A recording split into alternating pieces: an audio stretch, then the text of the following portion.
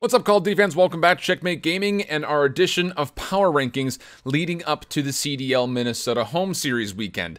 A lot of action from the Seattle weekend, which really kind of tossed some consideration in favor of a number of teams that were sitting near the bottom of the pack, where maybe some of the ones in the middle of the pack have now significantly fallen down. And what about Chicago? They didn't have a chance to play up against Atlanta or Dallas. They won the home series. Do they bump up at all?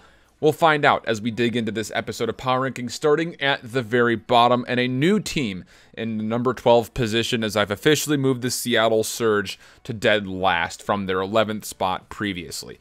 Here's the simple way of looking at Seattle Surge. They have no idea what's going on. They have no idea who they want to play. They spent the last couple of weeks talking about the fact that Enable was going to start, but then Pandur was playing in Search and Destroy, and based on his tweets, he didn't even realize he was going to be playing until a couple of days before, and that only lasted a total of one day. The second day through, Enable not going to be starting anymore as Pandur was put right back into the mix, and it solved, I won't even say mixed results. It was the same results as before. Two 1 3 losses to both New York and the Los Angeles Guerrillas, and to be frank, not a lot of the games were all that close. The only map that they were able to take were the domination maps, both against New York and Seattle, both of them relatively close. But you take a look at this team specifically and where they kind of stand, it's not good. You, really can't say much positive about the Seattle Surge squad. They're sit 11th in hardpoint with a minus 15 point differential average. On top of that, their Search and Destroy has gone from bad to a little bit worse as they dropped from 1.42 rounds on average that they lose by to 1.62. Not a good weekend for them in the Search and Destroy after they had came through the week previously when they were in Chicago and actually had a really solid weekend when it came to the Search and Destroy. So a negative depreciation there. But the one good thing about Seattle is that they're actually really good at domination. They sit third in the league. The differential in points is not much, but their win percentage is incredible. And that's actually a boost from where they were previously at fourth. So for Seattle, you got to figure out what we're doing on hardpoint and search. Your domination has still been relatively relatively consistent, and it doesn't seem to make a difference who necessarily is playing. They're doing well at understanding the game type. But being this bad at hardpoint and being this bad at search and destroy and not knowing who your full five is going to be is definitely concerning and why I had them in the 12th spot. And with that, of course, moving into the 11th spot is the Los Angeles Guerrillas. And candidly speaking, they did not have as bad of a weekend as I think a lot of people are kind of throwing out there. They had a couple of wins in hardpoint. They went 3 and 3 in the mode overall. They stayed good in the search and destroy. They only dropped one map, and that was versus London on Petro, a 3 6 loss there. And yes, they dropped all of their domination maps again. But the good news was the differentials were plausible that they could have either came back or potentially won some of these maps. And as you take a look at this team specifically in their stat lines, again, not good overall in the hard point or in the domination, 12th in both of those categories. But the good news is the differentials have actually gone up from last week to this week. And beyond that, their search and destroy, they stay in fifth, but they flip a negative differential into a positive one this week. Again, showcasing that their search and destroy is actually really strong. It just comes down to can we get these guys in the same same page to play well on the respawns. You need an analyst. You need someone who can just look at these maps, break down things. These are the right calls. These are the wrong calls. Can you guys find a way to get an IGL to make the right decisions in the right times? That's what I'm looking at. If somebody on this LAG squad can step up and become a noteworthy IGL, this team has an opportunity to keep going up the ranks. I honestly believe that because, again, they're not being outslayed all that heavily. The maps that they're losing in hardpoint are by about a hill, maybe a little bit more, and that's not bad considering that you went 191 to 250 and 187 to 250 versus a very good New York Subliners team that just for me comes down to simple decision making. If you make one more good decision, you win those maps. So that's kind of what we're looking for at LA if they want to get more improvement in the wings. Going up to my 10th spot, I've got the Paris Legion. A little bit of a drop for the Paris Legion as they weren't able to find a way to win this weekend as they played both Chicago and Optic. They were able to take one map away from each of these guys, and beyond that, the hard point stayed relatively close all the way through. The problems were the search and destroy. And how many times, if you've been watching this channel, you might already have have account for it. How many times have I talked about this Paris Legion team having good starts to search but can't close them out? That's been the storyline now for the last two weeks, if not more than that. As you take a look at their statistics, they're ninth in the hard point, not a great differential in points right there. Eighth in the search and destroy, not the worst case. Again, you, you see that they're ranked eighth in search with only a minus 0.7 differential It's their win percentage. They only win 45% of their search and destroys that they play. That's not that great. And again, right in the middle of the road is their domination at eighth with minus 11 and a half points on average, which again is not great as terms of uh, in terms of overall differentials that we currently see in the league. So Paris takes a little bit of a small hit. Toronto's next up for me here. And Toronto, yeah, they didn't play this last weekend, but they're going into a weekend upcoming where they have to be able to get through into playoffs if they want to move up the rankings in my mind. They play the Los Angeles Guerrillas first, and then they get likely the winner of Chicago and Florida. Or I guess, honestly, beyond that, there is a plausible world where they very well could lose versus Los Angeles, and then they would have to still play either Florida or Chicago in some some instance. So this is a weekend where Toronto has to be good. You take a look at their statistics going forward. They're 10th in the hard point, 9th in the domination. That's been their weak point through and through this entire season. They've been a pretty solid search and destroy team. They have a positive differential. They're half, they're right in the middle of the league, but it's their respawn that's been suffering lately. And that's kind of echoed as far as what happened up until we got to Florida. When we last saw them in Florida, they actually looked pretty darn good. They went 3 and 3 in the hard point, but they went a flawless 3 and 0 in the domination.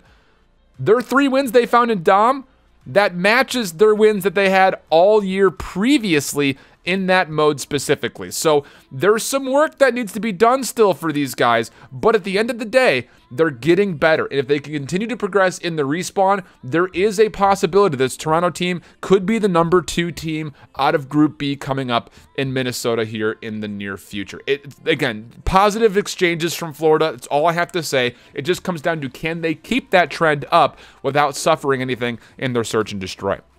Going to my number eight spot, a little bit of a boost here for the London Royal Ravens, really kind of right back where they were before I had dropped them down. The good news for London, they have the most positive change from the previous weekend going into Seattle. Before the weekend, they were seventh in hardpoint, seventh in search, and 10th in domination. They stay seventh and 10th in both the respawns, but they go from seventh to fourth in their search and destroy. They took a negative differential and turned it into a nearly one round positive, positive 0.61. That's a imp- big improvement from where they were previously at negative 0.06, which is essentially dead even. So a good turnaround for the London Royal Ravens in their search and destroy. And with that, their respawn also saw a positive boost. The thing about London that I'm still not quite sold on is this new roster because it's just that. It's new. Are they in a honeymoon period? We saw Zero play extremely well this last weekend. It surprised me. It kind of baffled me, if I'm being completely honest with you. And with that, it turned into a very good mix. Again, mostly in the search and destroy. They only dropped one search, and that was versus the Los Angeles Guerrillas on Piccadilly, which was weird to see considering that London, they've been playing a lot of Piccadilly this year. Beyond that, though, they go even in the hard points, essentially three and four in the hard points, and they go even two and for two in the domination. Both of those big losses come to both Optic and Chicago. The 3 0 versus New York was very encouraging, and that was a lot of the reason why I bumped these guys up a little bit. They are not playing this upcoming weekend in Minnesota. Going to my next spot in the seventh position, I have Florida, a little bit of a hit here. And uh, this is weird because uh, for me, you go back to their Florida homestand, not good. They got 06 in the map count, although that said, four out of those six maps were tremendously close. But now you're going into a roster move where Owakening is expected to be starting this upcoming weekend, and you've got Chicago first, and you're not in a free group beyond that because, like I mentioned, Toronto is looking good lately, and LAG is showing signs of improvement. So, is there potential that Florida could be upset by any of those two squads? I think it's very reasonable that they very well could be. You take a look at their statistics, this is where they're going to have to be good. The respawn. We've talked about it time and time again. LAG, not a strong respawn team. Toronto, up until the previous weekend, not a strong uh, respawn team. This squad is still fifth in the hardpoint and the domination.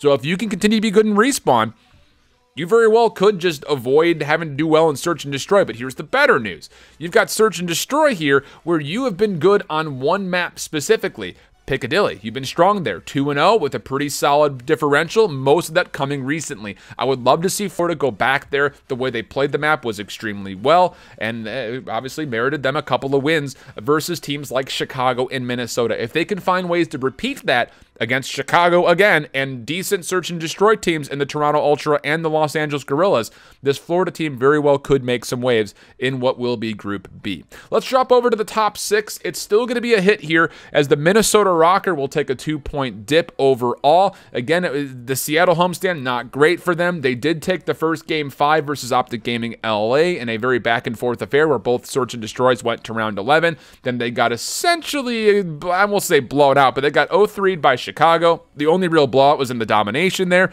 But then they also lost 0 3 to Optic Gaming, where the only map that was close was the Azhir Cave hardpoint. Minnesota, a little bit all over the place. You take a look at their differentials in total third in hardpoint, ninth in search and destroy, and now seventh in domination. Every single one of their point differentials and ranks have taken a hit. They stay sixth overall and 10th overall in hardpoint and search, but their differentials got worse. Same th- situation with what happened with their domination. They started in sixth last week. Now they're the seventh ranked team, and they were at a positive differential before. Now they're at a negative one in the domination. Minnesota, flat out, you have to be better at search and destroy. We've said this time and time again. Out of the four search maps that they played, three of them went to round 11. Two of them came up as L's. And then you got kind of smoked by Optic Gaming on Arklov Peak, a map that to be fair, they have not played all that much this year, but still, you've got to be better at search and destroy, and you cannot lose ground in the respawn. I was mentioning this last time in our power rankings. I was nervous that a team like Minnesota and Florida could very well, very easily fall out of the top five, and for me, that has currently occurred. Going into my fifth spot overall, Optic Gaming LA. They've been impressive and they're still going through a potential roster move. Haven't heard anything new about the whole gunless situation, but there was a trial account scrimming with them earlier on in this current week. So, Will there be a move? We'll have to wait to see because they don't play this upcoming weekend. But Seattle was a kind of a mixed bag for them. Again, they dropped that first map five versus Minnesota RØKKR. Then they take a 3 1 relatively easily versus the Paris Legion. Another solid 3 0 versus Minnesota. But then they drop the map five versus the London Royal Ravens, where they actually don't pick up one of the two search and destroys. And that's where the search and destroy kind of uh, has been the beacon of success for a lot of these aspiring squads. And for Optic, they have been right there with it. During their time at Florida, they only dropped three of those search maps while also still doing very well in the respawn. That kind of took a little bit of a hit. They only went three for three in the search this last weekend, even though they still went three and one in the domination. Again, if you can't win search and destroy and you're essentially going one for one in hard points, which they did this previous weekend, that's the result to be expected. So it's a it's a very um, generous gift, I would say, to put Optic Gaming up two spots. But based on what I've seen from Florida and Minnesota, especially considering that Florida's going through a roster change, I thought Optic, based on the results alone, merited to be breaking into the top five. Into my fourth spot. And what a spot this is, because there was a conversation that I was in with a certain Discord group of people that uh, were, you know, out there I'm not going to say on this channel, but they were looking at the picks very intently. We'll say that much. The New York Subliners was the worst team in all of their minds, and I kept saying that with one good change, this New York Subliners team could be incredible. They have all of the pieces with really one exception, and Mack has made this team incredible. They have done very well in the respawn as of late. Yes, they only went 4 and 3 in the hard point and 2 and 2 in the domination, but a lot of those maps came down to the last and final moments, including a 151 to 154 Gunrunner domination loss. We also had a couple of games that were 200 points plus versus the Huntsmen that they lost in hardpoint. The big thing for me in this New York team, kind of the same conversation I had about Optic, they have to get better at search and destroy, and they have to get better at search and destroy now if they want to stay in the top five. The 6 4 win versus the Seattle Surge was the only win that they had this last week, and everything else was a 3 6 loss to London, LA, and Chicago. That said, all three of those squads in the top echelon of search and destroying the CDL this year. So there is something to be said about that, but you have to improve if you're New York and you want to make more moves to get up the standings and, in my mind, up the rankings as you move forward. They also have an off weekend coming up this next weekend. Coming into my top three. There's going to be no switch up here for the Chicago Huntsmen, even though they just won the last event. And here's my reasoning why. Yes, they played very well throughout the entirety of the weekend, but they still had a handful of close calls, including the four game set versus the London Royal Ravens. Yeah, they took both hard points. Yeah, they took the domination, but reasonably all the hard points were kind of up for grabs, to be completely candid. And on top of that, it was a one point domination. That set very well could have gone the distance. Beyond that, when they played up against teams like Paris, Minnesota, and New York, there were only maybe one map in each of those series that were definitively blowouts in favor of Chicago. Yes, they're still going through this little bit of a roster swap. Prestinni, as he went on through the weekend, looked more comfortable with Chicago. He was trusting his teammates. He wasn't taking over aggressive peeks like he kind of was a little bit with Florida, and especially at the beginning of the weekend here with Chicago. But until I see that growth go a little bit further, I have a hard time putting Chicago in the top two, even though their stat lines are First in hard points, second in search, second in domination. It's all relatively equivalent to what we've seen from both Dallas and Atlanta. And speaking of, in my second place, the Dallas Empire, not moving again from where they were previously. This is going to be a telling weekend because Atlanta, Dallas, Chicago, Minnesota, all of which are in the action this weekend. And for Dallas and Atlanta, they find themselves in the same group again. And for Dallas, you play Minnesota first. And you've only gone one for one with Minnesota, and both series were very tight. So Minnesota very well could be the potential kryptonite of a team like Dallas Empire. You take a look at their stats fourth in hardpoint, third in search, fourth in domination, all of which have been going up and up and up since we moved online. Say about that what you will. First place position, Atlanta FaZe. Hard for me to say otherwise right now. Technically, they sit second in my rankings, but their point differential in hardpoint is, uh, is astounding. It's insane. They win on average at a 30 point margin. Chicago was at 13 and a half point differential. That's more than double that Atlanta FaZe are putting up when it comes to hard point differentials in total. The thing that's different is the win loss ratio, which Chicago has a narrow lead in. So, going through this weekend, it's very possible to think that if Atlanta still plays consistent, they have Seattle first, should be an easy trip for them. That in its own right will put them back to first in the rankings just by how I'm doing my statistics. So, We'll just go ahead and say first across the board for Atlanta. Rightfully so. These guys are insane. And again, we will be doing a full breakdown predictions of the weekend coming up before we get into it. And beyond that, make sure you follow along at our Twitch channel because after the action is done, instead of just doing little 10 minute videos that we're posting on as far as recaps for the YouTube, we'll be streaming a ESPN style post show on our Twitch that will also then be uploaded immediately afterwards to our YouTube. So make sure you check all that out, twitch.tv slash CMG underscore esports. We hope to catch you guys there immediately after the action unfolds on the COD League YouTube. That's going to do it for our rankings. Let me know what you think down below. Make sure if you like the video, you go down and you like the video. And beyond that, make sure you subscribe on your way out. Hit the notification bell to get notifications on when videos get posted live. Till the next time, hope you guys keep holding it down. So long.